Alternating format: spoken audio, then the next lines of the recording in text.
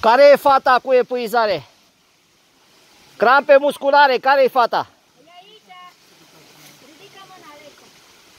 Bine, hai.